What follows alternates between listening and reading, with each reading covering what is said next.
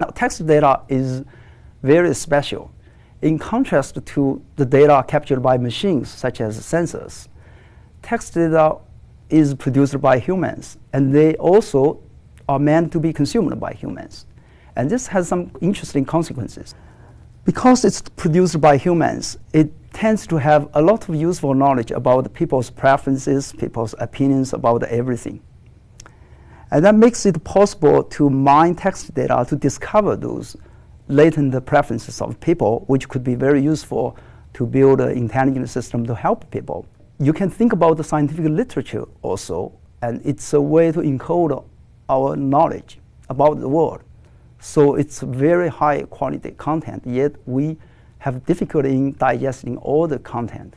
Now, as a result of the fact that text is consumed by uh, we humans, we also need intelligent software tools to help people digest the content, or otherwise we would miss a lot of useful content. This slide shows that human really plays an important role in text data mining. We have to consider human in the loop and we have to consider the fact that the text is generated by human. So here are some examples of useful text information systems. This is by no means a complete list of all the applications. I categorize them into different categories, but you can probably imagine other uh, kinds of applications. So let's take a look at some of them. Search, for example, we all know search engines, especially web search engines. I bet all of you are using Google or Bing or another web search engine all the time. And we also have library search systems. And in fact, uh, wherever you have a lot of text data, you would have a search engine. So for example, you might have a search box on your laptop, right, to search the content on your computer. So that's one kind of application systems. But we also have filtering systems or recommender systems. Those systems can push information to users. They can recommend useful information to users. So I list some again. News filters, spam filters, literature or movie recommenders. Now, not all of them are necessarily recommending information to you. For example, email filter, spam email filter. This is actually to filter out the spams from your uh, inbox. Right? But uh, in nature, these are similar systems in that they have to make a binary decision regarding whether to retain a particular document or discard it. Another kind of systems are categorization systems. So, for example, in uh, handling emails, you might uh, prefer automatic uh, sorter that would uh, automatically sort incoming emails into appropriate uh, folders that you created. Or we might want to categorize product reviews into positive or negative. Uh, news agencies might be interested in categorizing news articles into all kinds of subject categories. Those are all categorization systems. Uh, finally, there are also systems that might do more analysis and, or you can say, mine uh, the text data. And these can be text mining systems or information extraction systems. And they can be used to analyze text data in more detail to discover potentially useful knowledge. For example, uh, companies might be interested in discovering major complaints from their customers based on the email messages that uh, they have received from the customers. Right? So having a system to support that uh, would uh, really help uh, improve their productivity and the customer relations. Also, in business intelligence, companies are often interested in analyzing product reviews to understand the relative strengths of their own products in comparison with competitors. And, and so these are all examples of these uh, text mining systems. And in bioinformatics, uh, we have a lot of data, and particularly literature data. So there's also great opportunity of using computer systems to analyze the data to automatically read literature and to gain knowledge and to help biologists make discoveries. And you can imagine many others. So the point is that with so much text data, we can build very useful systems to help people in many different ways. Now, how do we build these systems? Well, these actually uh, are the main uh, technologies that we'll be talking about in this course and the other course that I'm teaching for this specialization.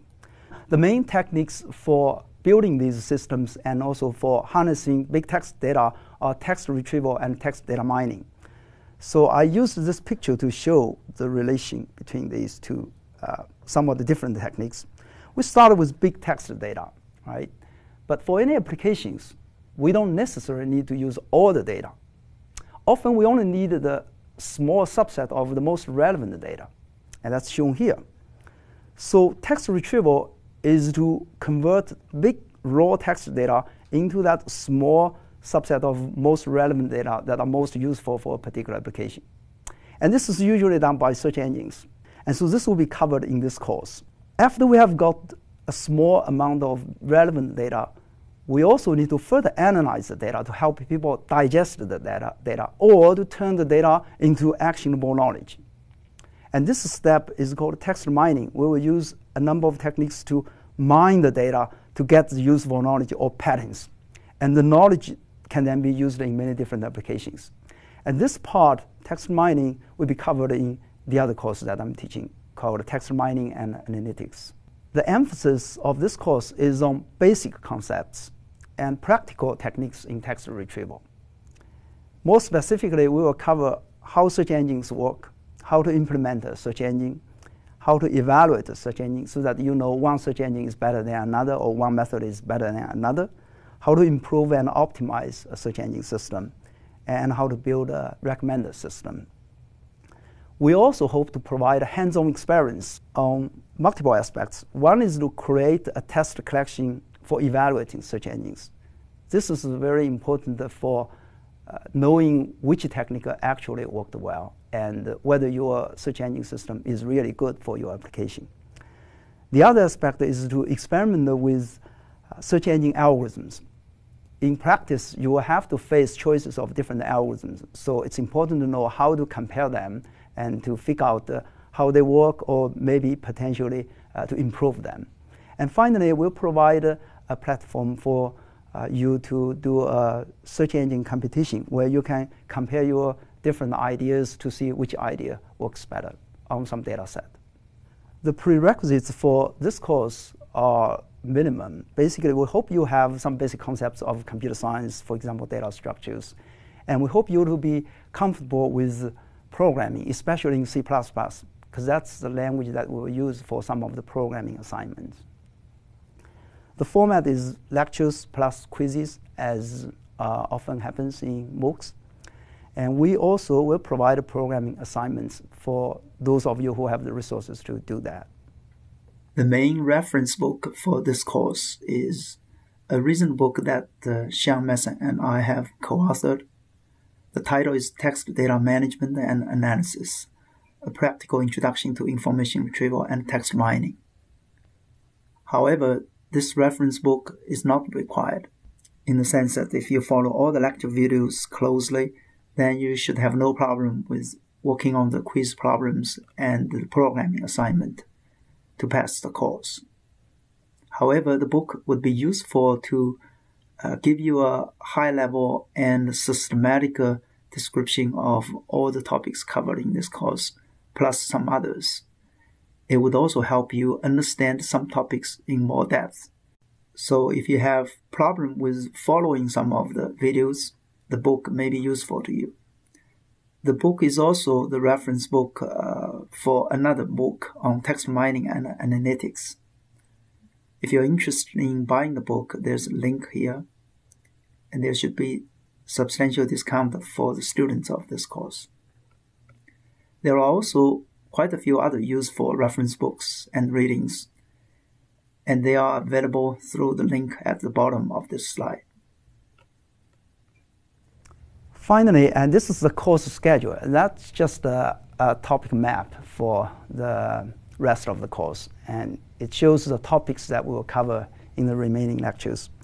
This picture also shows a basic flow of information in a text information system. So starting from the big text data, the first step is to do some natural language content analysis because text data is in the form of natural language text. So we need to understand the text to some extent at least in order to do something useful for users. So this is the first topic that we'll cover. And then on top of that, uh, as you can see, there are two boxes here. Those are two uh, types of systems that can be used to help people get access to the most relevant data. Or in other words, those are the two kinds of systems that would convert big text data into small relevant text data. Search engines are helping users to search or to query, query the data to get the most relevant documents out. Recommender systems are to recommend information to users, to push information to users. So those are two uh, complementary ways of getting users connected to the most relevant data uh, at the right time. So this part is called text access, and this will be the next topic. And after we cover that, we're going to cover a number of topics all about the search engines. Now, the text access topic is a brief topic, a brief coverage of the two kinds of systems. In the remaining topics, we'll cover search engine in much more detail. That includes text retrieval problem, text retrieval methods, how to evaluate these methods, implementation of the system, and web search applications. And after these, we're going to cover the recommender system. So this is what you expect uh, in the rest of this course. Thanks.